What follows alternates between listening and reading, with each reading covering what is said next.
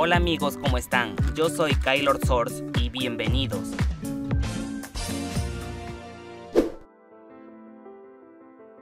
Hay tantas historias en internet sobre niños que fueron dados en adopción al nacer y años después conocen a sus padres.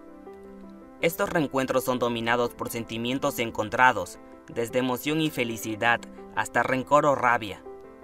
La siguiente historia que verás es tan sorprendente que cuando la conocí me quedé impactado, porque es uno de esos reencuentros que sin querer te enteras quién es tu padre, y lo más curioso es que lo conocías hace años y no lo sabías, hasta que alguien descubre y te lo cuenta. El chico se llama Neton Bus, ha crecido sabiendo que era adoptado desde que era un bebé, pero sus padres adoptivos no le han contado mucho sobre sus padres biológicos.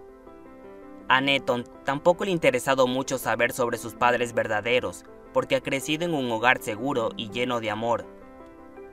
Desde que era pequeño, desarrolló una fascinación por los camiones. No sabía de dónde provenía ese gusto, y no fue hasta que cumplió 23 años que descubrió que su padre biológico también le gustaba los camiones. Neton quedó impactado con la revelación, ya que nunca había tenido mucha curiosidad sobre sus padres biológicos. A pesar de que Neton no quería saber sobre su padre biológico, el destino se encargaría de hacérselo saber de todos modos. Cuando Neton se hizo adulto, consiguió un trabajo como conductor de camiones en una empresa de Wisconsin, Estados Unidos. Era un trabajo que le motivaba y le gustaba, se encontraba muy a gusto con sus compañeros. Neton siempre ha sido muy tímido y nunca tuvo amigos, pero en su trabajo se hizo amigo de Robert DeGaro, un hombre de 55 años y dos hombres más que trabajaban en la empresa. Al poco tiempo, Neton y Robert comenzaron a dejarse comentarios y bromas en sus cuentas de Facebook. Al verlos, la madre adoptiva de Neton quedó intrigada. El nombre de Robert le era familiar. Podría ser cierto lo que su cabeza le decía. ¿Cómo tal coincidencia iba a cambiar sus vidas para siempre? Hasta que semanas después decidió sentarse junto a su hijo y comentar sus sospechas que a esas alturas pensaba como ciertas. Robert era su padre biológico. La sorpresa fue sorprendente, que Neton dijo, Dios mío, trabajo con este tipo, es mi compañero y mejor amigo. Su madre casi se cae del sofá al enterarse que eran compañeros. Luego de descubrir la impactante noticia, aún quedaba un obstáculo por superar, contarle a Robert. Fue así que Neton le escribió por el chat de Facebook y le preguntó si conocía a una mujer. Robert le contestó que sí, que era su ex esposa. Entonces le contó la verdad. Acabo de descubrir que ella es mi madre biológica. Mi mamá adoptiva me lo dijo.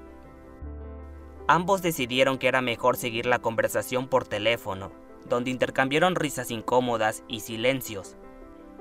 Además, Robert le contó que cuando él y su esposa supieron que estaban esperando un bebé, se pusieron muy contentos, pero también estaban preocupados. No tenían mucho dinero y se dieron cuenta de que no podrían ofrecerle a su hijo una vida segura, y se vieron obligados a tomar una decisión difícil, dar a su hijo en adopción. La pareja posteriormente tuvo dos hijos estupendos a los que cuidaron y formaron parte de su familia pero Robert siempre quiso saber cómo le había ido al hijo que se vieron obligados a dar en adopción años atrás, y ahora ya conoce la respuesta. Neton y Robert habían sido compañeros durante dos años, y si eso no era todo, los dos eran muy buenos amigos, pero ninguno de los dos sabían que eran padre e hijo. Ni Neton ni Robert hubieran podido creer en esa increíble coincidencia. Pero sin embargo, esto no supuso una razón para romper su amistad. Al contrario, ahora se han acercado mucho más y lo mejor de todo, Neton podrá encontrarse con su padre biológico todos los días. Cuéntame, ¿qué opinas de este reencuentro? ¿Crees que los padres verdaderos fueron unos cobardes en haberlo dado en adopción? Deja tu comentario y dale un hermoso like si te gustó el video. También compártelo en Facebook si te ha alegrado saber que padre e hijo finalmente se hayan vuelto a encontrar. Por último, si no te quieres perder ningún video cuando suba, ¿Qué esperas? Activa la campana de notificación y si eres nuevo suscríbete. Esto ha sido todo, si has llegado hasta el final, te deseo un feliz día y nos vemos pronto.